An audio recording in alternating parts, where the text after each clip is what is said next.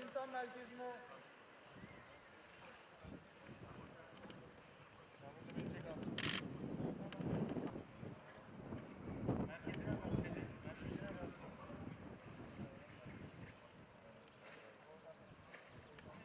Biraz biliyorsun o pavadan.